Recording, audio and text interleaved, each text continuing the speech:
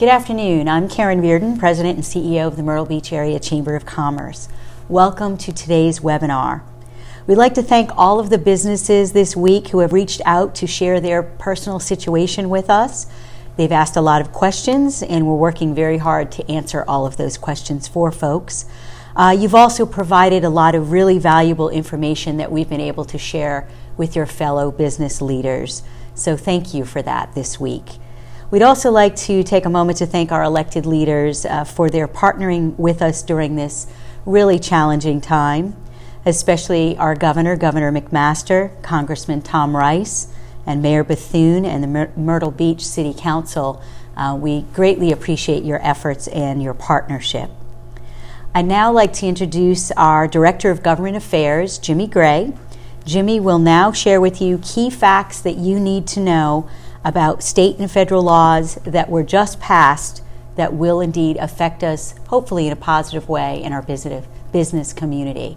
So now I'd like to turn it over to Jimmy. Thank you, Karen, um, and thank you all for tuning in today. Um, I know that this is a busy time, a lot of uncertainty. Um, businesses are making hard decisions, employees are making hard decisions for them and their families. And the goal of today is to provide some clarity and maybe some updates on information that's happening in the advocacy arena as it relates to the COVID 19 virus that's really taken over our area, our state, and our country. Uh, for starters, want to thank all the staff with the Myrtle Beach Area Chamber of Commerce. We have folks even in the room here today uh, that are taking time away from their families while teleworking uh, to be here to help us uh, continue doing business. So I wanted to thank our staff for their hard work during this uh, epidemic that has taken over the entire state. Let's let's start from a state level and look at really what the state response has been to the COVID-19 virus uh, as of just a couple minutes ago. Um, so the first thing that the state of South Carolina did was consider a request from Governor Henry McMaster to fund the Department of Health and Environmental Control, DHEC, as you probably know it, uh, a request to fund DHEC $45 million of emergency contingency funding. Earlier this week, the Senate approved that request 42 to nothing in a unanimous vote.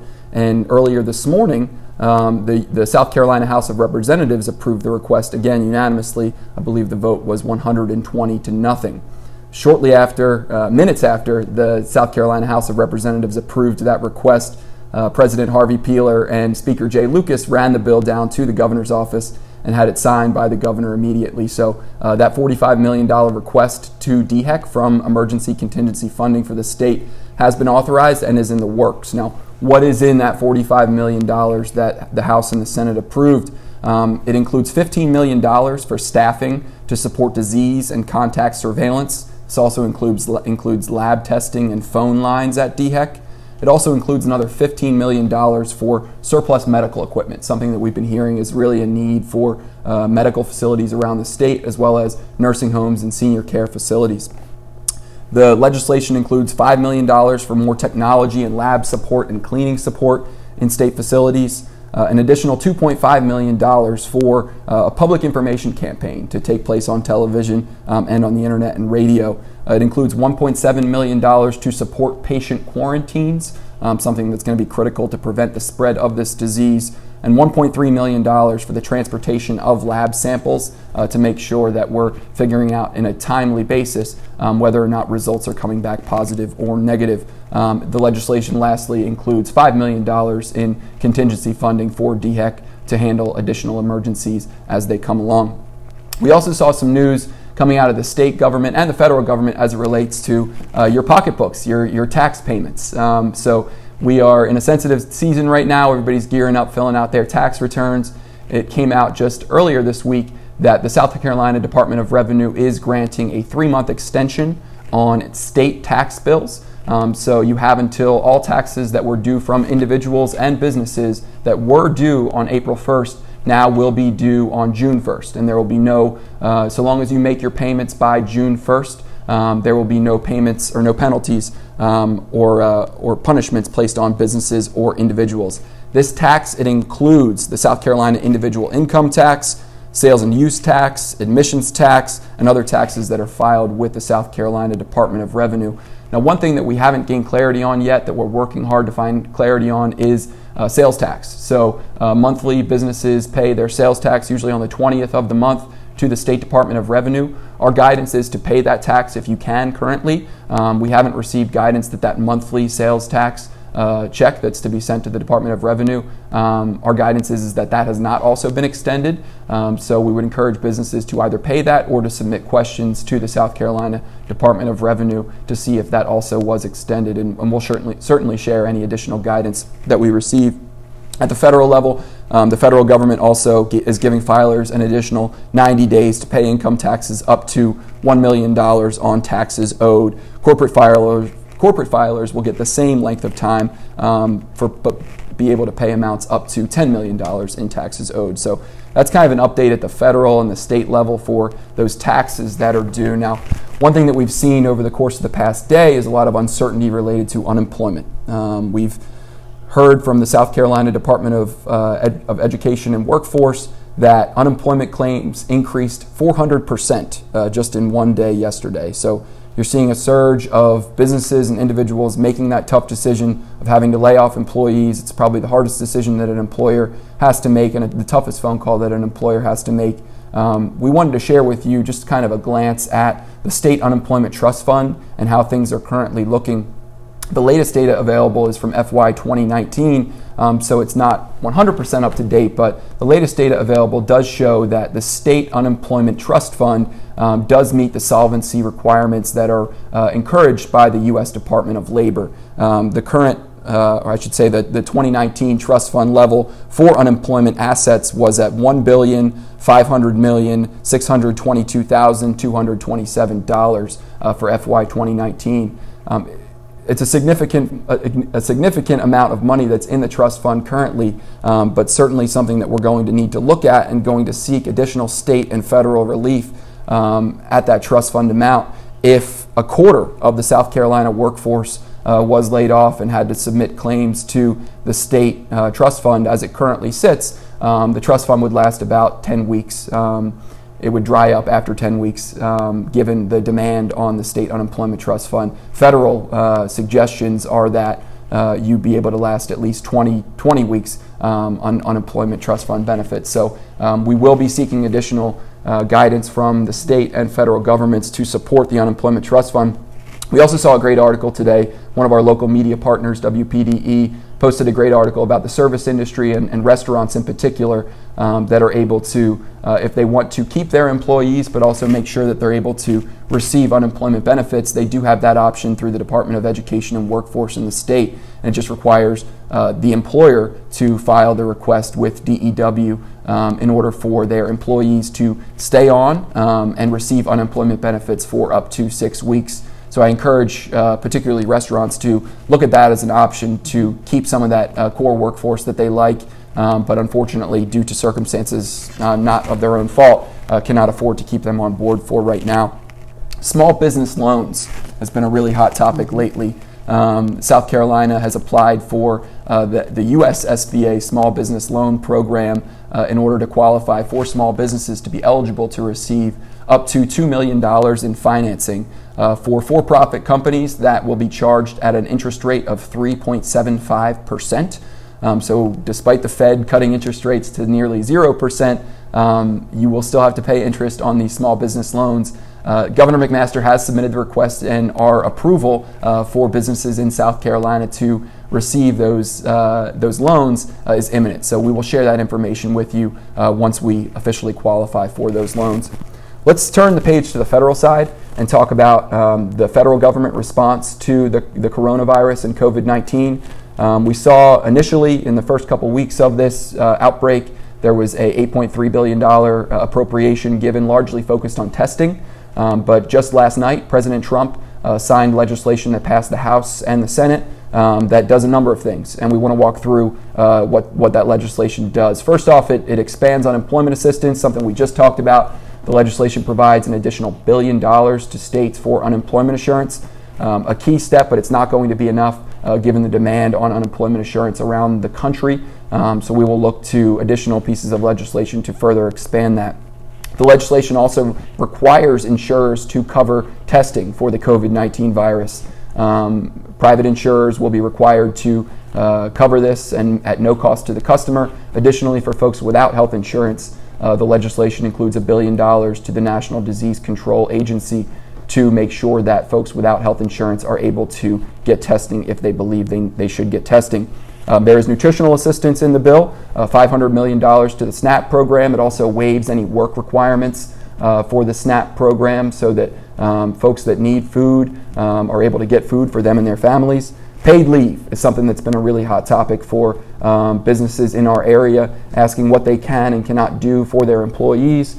Um, the, the legislation it does provide that employers with fewer than 500 employees that are not laying off their employees are required to provide as much as 12 weeks of job protected leave. Job protected leave is not the same as paid leave. The legislation includes a requirement that um, employers with the same number of employees, uh, 500 or fewer, are required to provide up to 80 hours of paid sick leave for individuals that are uh, suffering from uh, illnesses related to the coronavirus. Um, once those 80 hours have gone by, uh, employers are required to provide 100% of their salary for those 80 hours, but after the 80 hours expires, they're required to provide two thirds of their salary uh, to employees in perpetuity of this pandemic. So certainly is something that's going to be at a high cost. It's it's a very employee friendly bill, um, but this only unfortunately applies to employees that have not been laid off by their employers. Um, so employees that uh, have been laid off are really th- focused on those unemployment insurance options that have been provided by the state and federal um, businesses. Let's turn the page and talk about tax credits. The legislation does recognize that there's a huge cost associated to businesses that are going to keep folks on board related to this um, paid leave pr- provision. So there are employer tax credits um, up to uh, $511 per day when an employee is receiving sick leave um, to care for themselves, and then $200 when they're caring for a loved one or a family member. And then another question that we've gotten is related to uh, self employed individuals or contractors. The legislation does address self employed individuals and contractors and provides them with the same level of uh, assistance that the, the employers of larger small businesses receive.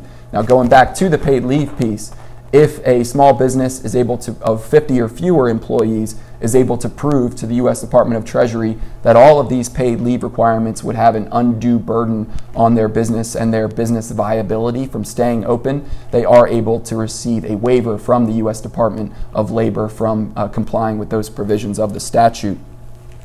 So that is pretty much what we were covered in this Families First Coronavirus Act of 2019. Um, now there's been a ton of news about um, different ideas that are out there that we wanted to just kind of turn the page and address some of the rumors, some of the speculation um, regarding next steps that Congress might take. Um, Congress and the Senate, it sounds like the Senate is going to remain in session. Uh, the U.S. Senate, I should, I should say, uh, will remain in session uh, over the weekend, it sounds like, and into next week. The House is not expected to come back into session currently until March 27th. Um, this is all kind of complicated by the fact that two members of Congress on the House side have tested positive for the COVID 19 virus. So, certainly comp- um, complicates negotiations and how the body is able to get together when those folks are not able to, uh, they're required to self quarantine. So, uh, it will be challenging to get that for, for in order for a deal to be able to be met. But let's talk about what some of the options uh, are out there that are being considered. Uh, first one, the one that has gotten the most traction is this check to individuals. Um, a $1,000 check to all individuals. Yes, it's a real thing that's being proposed. Um, the U.S. Department of Treasury has issued guidelines this morning um, outlining what that check might look like. And what it's looking like right now is that it would be $1,000 per individual in a household. So if you use a family of four, for instance, with two parents and two children, you'd be $1,000 for uh, the, the parent number one, num- $1,000 for parent number two, and then $500 per minor. So as much as $3,000 in terms of an indi- individual assistance to taxpayers um, in direct checks from the U.S. government. The way that would be issued uh, in terms of uh, the U.S. Treasury's guidelines are $250 billion on April 6th and $250 billion uh, beginning May 18th. I should, stip- I should stipulate all of this by saying that all ideas are seemingly on the table right now from a federal response. The U.S. government is really leaving all options on the table. Um, there's also efforts to bolster the small business interruption loans. Um, the Small Business Administration Loan Program, like we said, is not interest free and is capped at $2 million. Discussions have been, ha- have been had to uh, expand that program to lower the interest rate and potentially uh, increase the borrowing capacity for small businesses. We've, we also seen some proposals from uh, Minority Leader Chuck Schumer in the Senate um, to bolster a surge appropriations, um, looking at $400 billion in public health medical supplies and treatment capacity, um, and it really just expands a lot of the federal loan and grant programs that are out there um, and invests in things like public education and focus at getting Americans back to work. Um, there's also a, uh, a, a, discussion currently about immediate loan payment forbearance uh, for all federally backed mortgages and moratoriums nationally on evictions and foreclosures, so long as this pandemic is ongoing. Um, legislative ideas are out there to bolster Buy America provisions um, to try and get supply supply chains to be smaller and to help America be more reliant on itself. Um, and then also, lastly, I would just also add that unemployment, um, Congress is going to need to step up to work with states to bolster uh, unemployment trust funds in states around the country. Um, because currently, like we said, as South Carolina currently sits, we've seen a 400% increase in uh, requests to unemployment trust funds. So I want to just kind of wrap up our spiel here before we get into questions, um, saying that travel and workforce protection is critical for not only our country, but particularly the Myrtle Beach area. Um, in the Myrtle Beach area, if you look at the uh, annual report that Karen and her team put together, 57,000 uh, jobs in the Myrtle Beach area are in the travel and tourism industry. So we have great partners that we work with, like US, the U.S. Travel Association, um, that are looking at programs currently at the federal level to uh, include loans, to include grants to small businesses that have had to lay off employees or that have had to seriously alter their hours in order to provide additional assistance. Assistance means keeping, being able to keep your doors open. Assistance means um, once this coronavirus pandemic is over, making sure that folks are coming back to these tourism destinations around the country, like the Myrtle Beach area, um, and spending those hard earned dollars because we know that uh, tourism is the number one industry for our area and, and the services that we've all come to enjoy living here and working here. Uh, tourists helped us pay for a lot of those services. So I'll kind of leave it at that and, and check with Karen and Amanda to see if there are any uh, questions that we had from folks that were watching. Um, I know this is a, a moving topic, and uh, it sounds like just in about five or ten minutes we're going to hear from Governor McMaster. Um, more news might have come out just as I've been talking, so I'll shut up now and see if there are any questions that we haven't covered. I had one asking about if a business is much smaller than that 500. They said that you answered it, um, but if you could reiterate what they can do if they're under 50.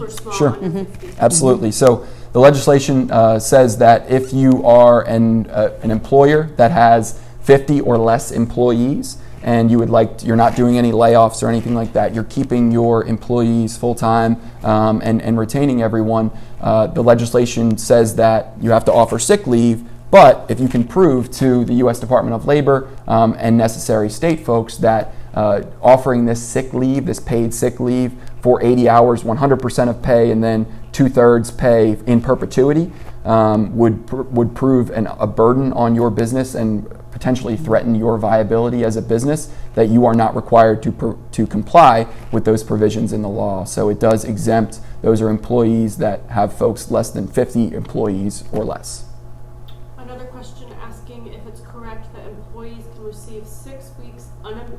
Without restrictions to look for other employment.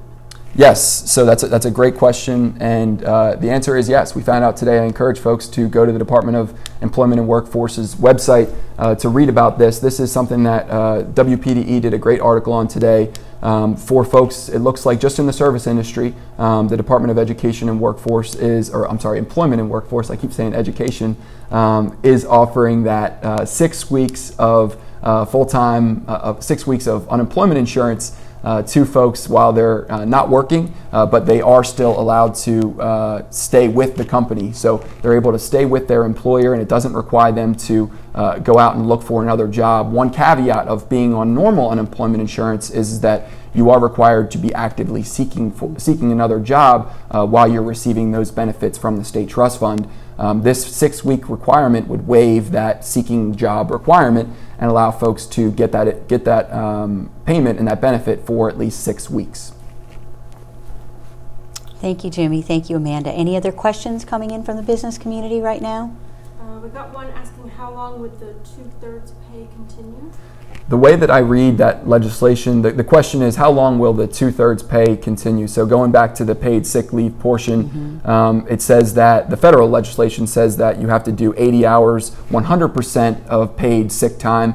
Um, after that 80 hours expires in perpetuity or until this pandemic expires, mm-hmm. um, you're required to pay those employees two thirds of their earning salary um, in perpetuity so long as the pandemic is going on. So um, that's really something that would uh, be at the discretion of the governor um, to, uh, so long as the state of emergency, as long as we, the state is in a state of emergency, uh, you would be required to pay that employee um, two thirds of their earning capacity um, until the state of emergency expires. Thank you, Jimmy. Uh, one other thing that we'd like to bring to your attention is uh, our partners at the South Carolina Chamber will be holding their own webinar tomorrow. That is Friday, March 20th at 3 p.m. Uh, this is also uh, a webinar uh, that is really trying to break down again um, a, HR uh, 6201, uh, which did come into law yesterday at President Trump's signing.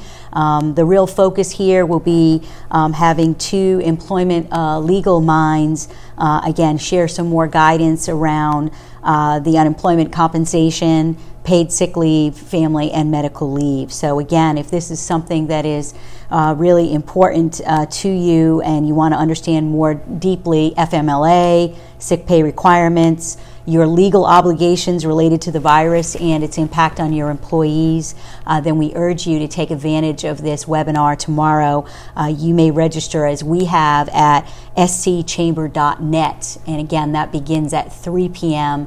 Uh, tomorrow afternoon, Friday, March 20th. Uh, your chamber here at the Myrtle Beach Area Chamber of Commerce uh, thanks you for uh, tuning in today, and we promise you that we are going to continue to share with you other relevant um, webinars uh, in the coming days and weeks. Um, as we go through this uh, uncharted territory together. Um, so, again, if you have suggestions about other topics that are hot for you that you really want to get some more guidance and information on, uh, please don't hesitate to reach out to us. Uh, and we are we happy to organize that for you. And again, we thank you for your time. We hope you tune in to the governor's press conference beginning at 4:30 p.m. today. Thank you.